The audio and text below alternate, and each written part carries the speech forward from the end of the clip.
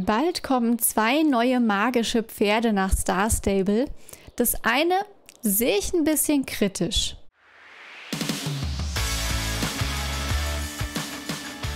Und damit aufgesattelt und aufgesessen. Herzlich willkommen zu einem neuen Stallgeflüster. Jetzt schon das zweite innerhalb einer Woche. Momentan kommt ja ein kleines bisschen mehr. Ja, und zwar sind ja jetzt ähm, die magischen Pferde angekündigt worden, beziehungsweise ich bin mir gerade gar nicht mehr sicher, sind sie überhaupt schon beide in Videos angekündigt worden oder bislang nur das Einhorn? Ich bin mir gerade gar nicht sicher.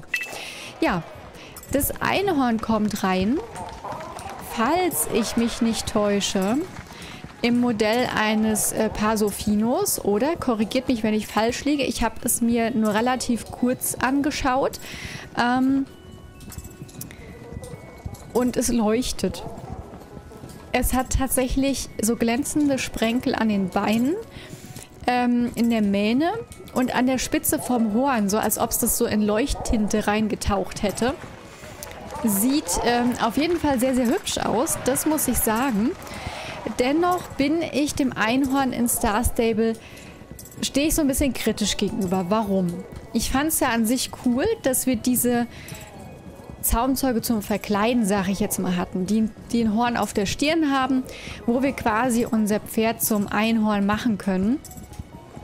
Ähm, allerdings finde ich es tatsächlich gar nicht so gut, dass wir ein Einhorn dann demnächst als Kauf- und reitbare Rasse im Spiel haben wieso, weshalb, warum und warum finde ich das negativer als die anderen magischen Pferde. Also generell bin ich ja jetzt nicht unbedingt ein Fan von allen magischen Pferden. Ich mache ja keinen Hehl daraus, dass ich zum Beispiel die Fischpferde sehr, sehr hässlich finde. Bitte nicht falsch verstehen, wenn die jemand schön findet, gar kein Thema. Jeder darf da seine eigene Meinung haben und jeder hat da seine eigene Meinung. Ich persönlich finde sie gar nicht schön. Ich persönlich finde die Drachen zum Beispiel cool. Aber ich finde, sie passen nicht ins Star Stable. Ähm, die Halloween-Pferde gehen für mich noch. Das sind Saisonpferde. Die Haflinger zum Beispiel finde ich auch in ihrer bunten Form hübsch, aber viel zu krass. Viel zu krass. Ich habe mir auch eingekauft, aber nur, weil ich ihn einfach in seiner, in seiner ähm, Grund, in seiner, in seiner nicht bunten, in seiner nicht magischen Farbe wunderschön finde.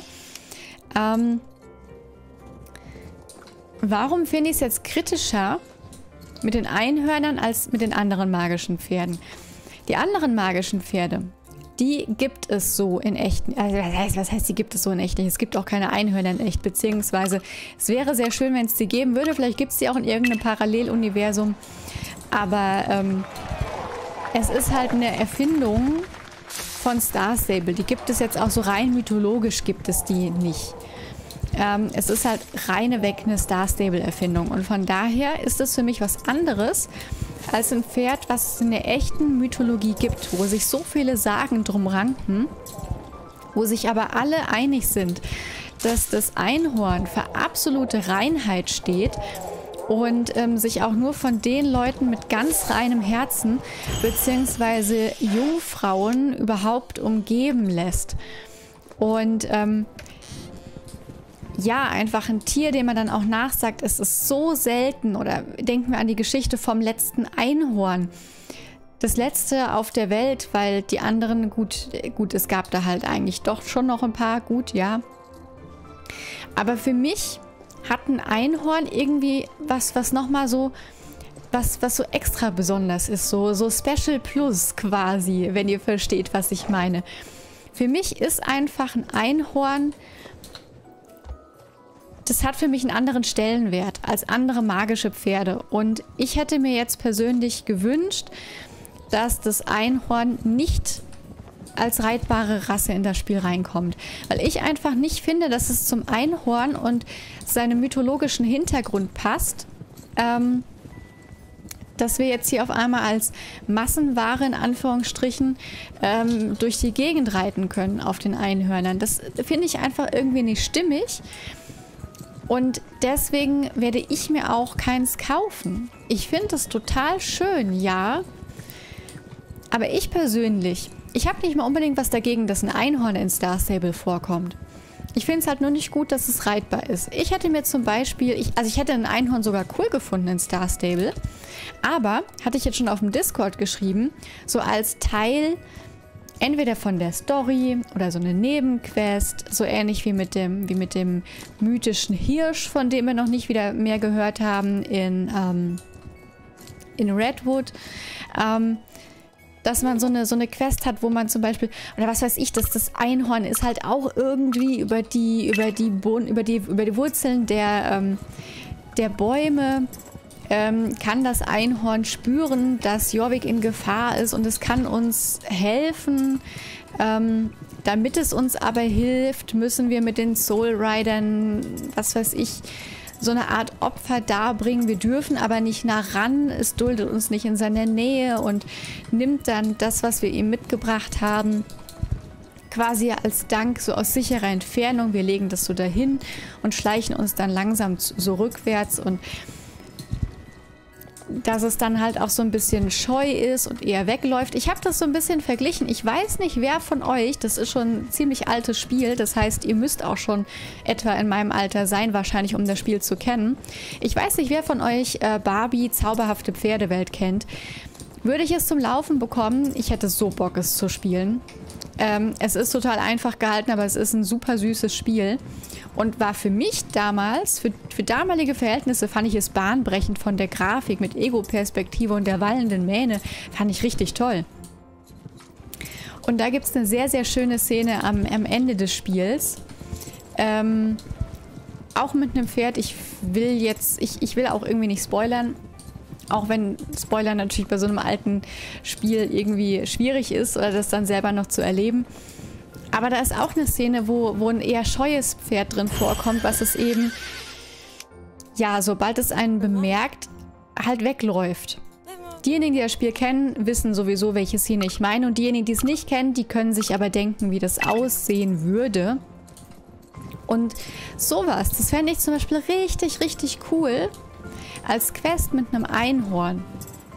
Also ich hätte mir tatsächlich, also ich, ich finde schon, dass ein Einhorn irgendwie in die Welt von Jorvik passt, mit der ganzen, der ganzen Magie, den Mythen und diesem Fantasy-mäßigen. Das passt schon rein. Aber ich, ich finde einfach, es passt nicht zu einem Einhorn, dass es sich, dass es sich reiten lässt, dass es sich aufzäumen lässt, dass es sich eine Decke und einen Sattel drauf, drauf ziehen lässt und und mit dir Rennen und Championate bestreitet. Ich finde, das passt einfach nicht zu einem zu zu Einhorn. Und ähm, selbst wenn, wenn man dann sagt, ja, ich mache das jetzt so, dass es dann halt in diesen Situationen wirklich nur die, die normale Form zeigt und ähm, es wirklich nur außerhalb, wie es früher eben mit den magischen Pferden war, nur außerhalb unbeobachtet zum Einhorn wird. Das kann man ja auch so ein bisschen storymäßig verpacken ich...